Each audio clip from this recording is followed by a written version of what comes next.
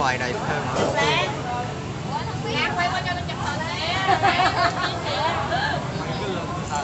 là mọi người đi đám ma thì rất là buồn. Nghệ thuật Việt Nam mất đi một ờ, điều rất là đáng tiếc nên là mọi người thương người nói vui vẻ quá, nó cũng hay lắm. Ở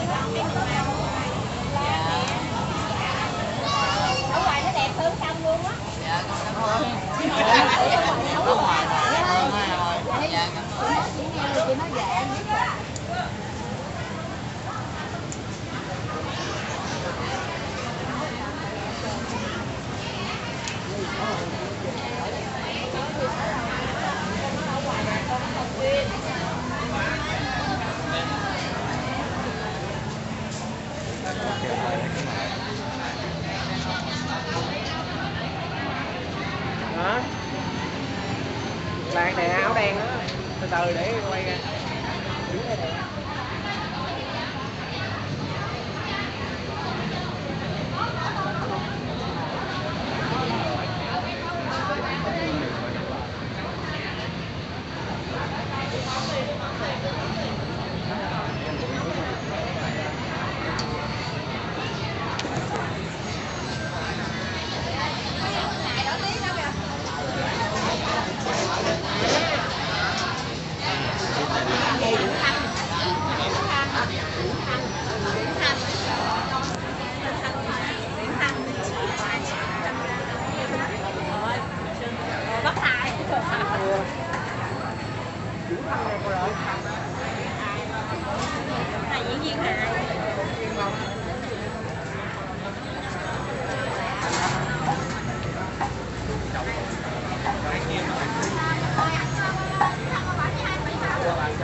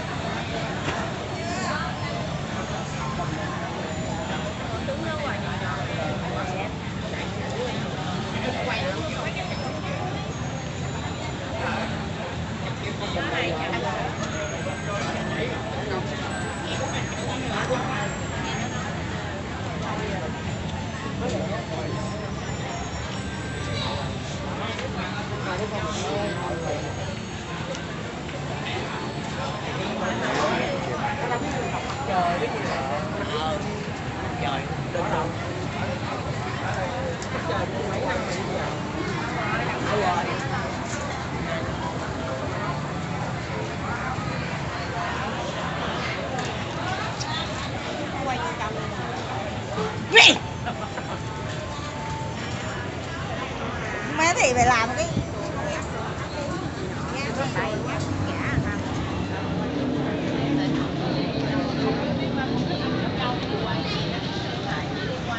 quay thấy chủ nhà